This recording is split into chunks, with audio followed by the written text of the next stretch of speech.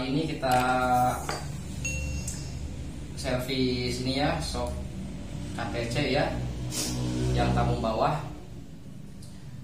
E, ini keluhannya bocor.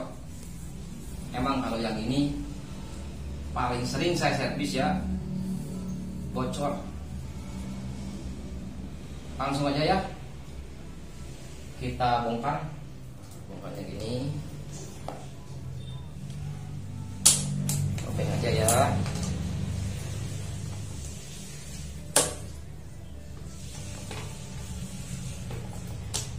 Hmm. ternyata agak keras ya? Ini cabut ya? Yuk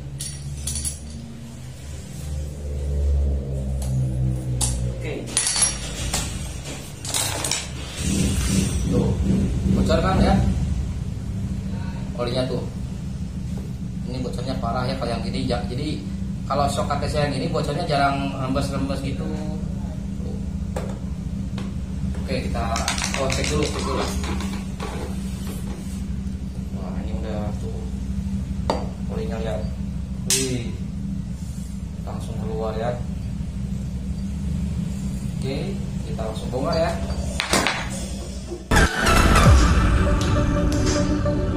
Past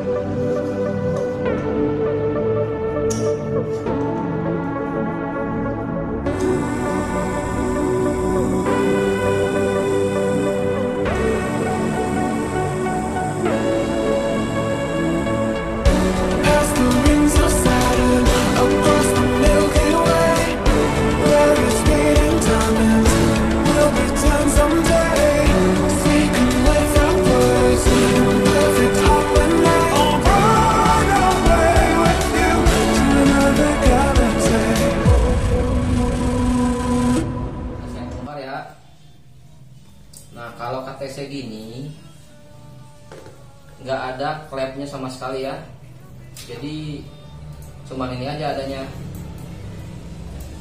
Ini di, di dalam tabungnya itu ada ada pipa ada selongsongnya gitu. Jadi langsung gini aja. Silnya ada di sini. Ya coba ya.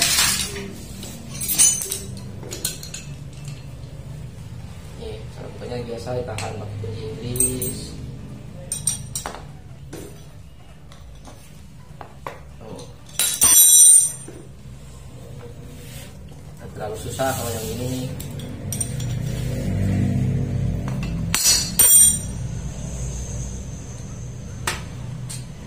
cuman ini, gini aja.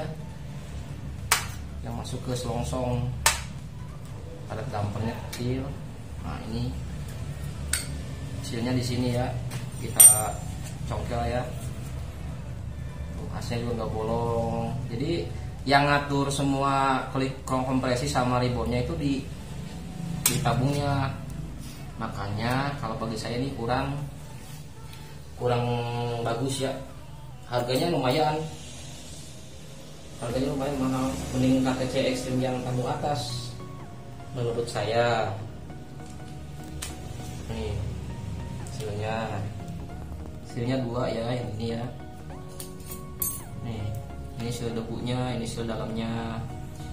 Sealnya apa eh, hidrolik ya sealnya nggak ada pernya di sini tuh kentur dua-duanya. Nah, ini cuci dulu ya biar steril dari virus corona atau corona. Ya kita pasang seal yang baru. Eh ada sealnya di sini ini seal debunya ini seal dalamnya ya samakan bentuknya. Pasangnya yang seal dalam dulu ya biar nggak susah. Hanya gini ditilap dulu. Terus pakai obeng kecil. Bisa tahan di sini masukin. Hmm. dorong oke jempol. Nah masuk kan? Lagi. Nah masuk. Satu lagi. Hmm. ini caranya. Nah masuk. Udah masuk.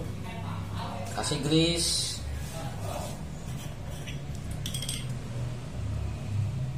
Biar awet ya biar eh, debu itu enggak air.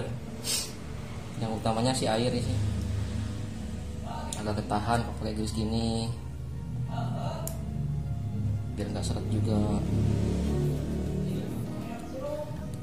Dalamnya kasih lagi.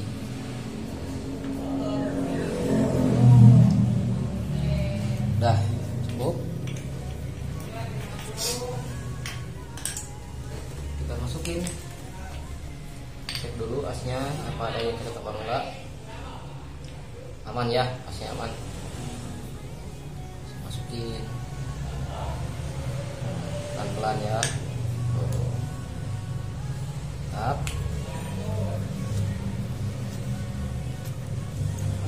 tinggal pasang lagi. Eh lupa karetnya.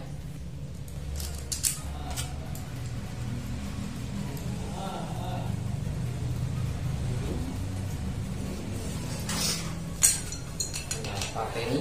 Nggak usah. Eh nggak pakai lupa lupa pakai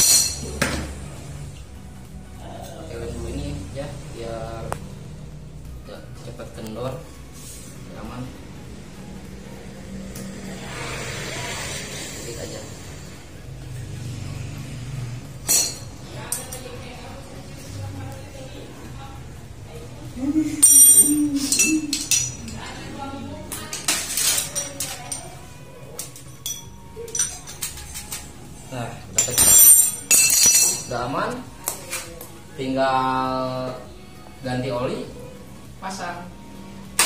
Oke, nah, jadi di sini yang aturnya langsung ditabung ya kalau sok KTC tabung bawah gini. Nah, dalamnya ada selongsong yang tadi masuk. Udah, sekarang tinggal masukin oli, pasang, isi angin udah beres. Oke, kita pasang ya, langsung ya.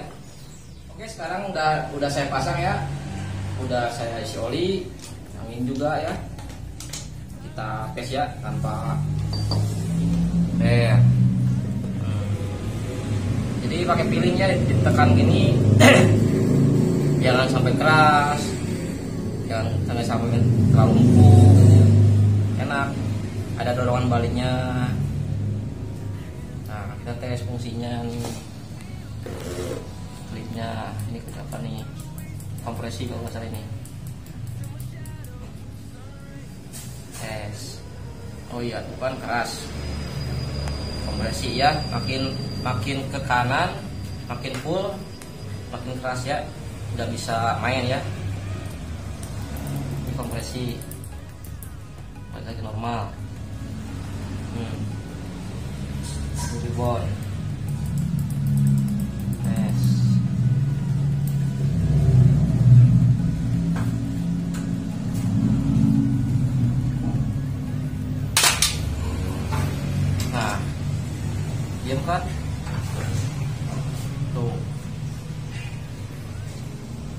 Ini tadi susah ini. Kita coba pasang ya. Akhirnya kita langsung di sana ya.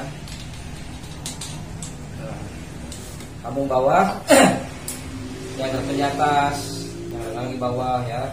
Tabung bawah gini. Oh gitu, ini mau saya mau nyaran dulu ya so KTC gini sering bocor karena kan di bawah ini terus sealnya juga hidrolik ya. Seal hidrolik. Jadi ada debu dikit juga nempel entar bocor ya. Jadi mesti benar-benar bersih ya. Apalagi musim hujan. Kalau untuk balap ya agak mending awet lah. Kalau untuk harian yang penting tabungan atas tabung atas kan gini tabungannya kan di sini lebih awet. Sering saya seringnya saya servis yang ini bocor. Paling sering. Kita coba pasang ya. Jadinya kalau masak sih nggak terlalu susah. Udah sama buka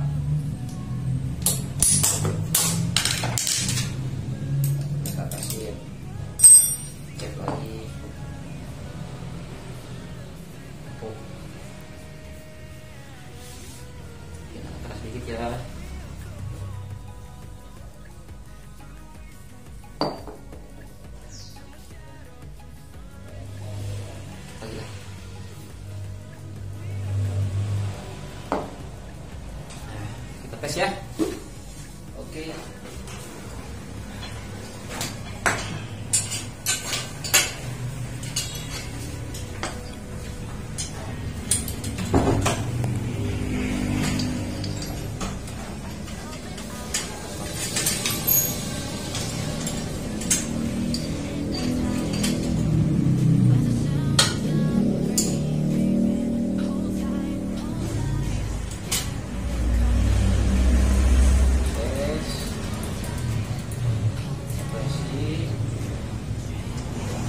ya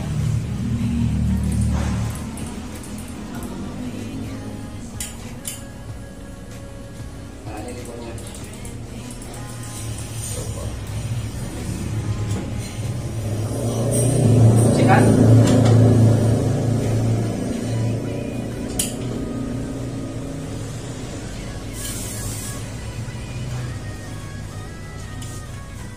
aman ya? Posisi semua Alhamdulillah beres ya. Nah kalau untuk harian ini untuk suri coba settingnya sekitar satu dua tiga. Ini aja ya. Oke beres. Nah ya? Eh, servis shop yang HTC ini beres ya sekian dulu dari saya. Assalamualaikum warahmatullahi wabarakatuh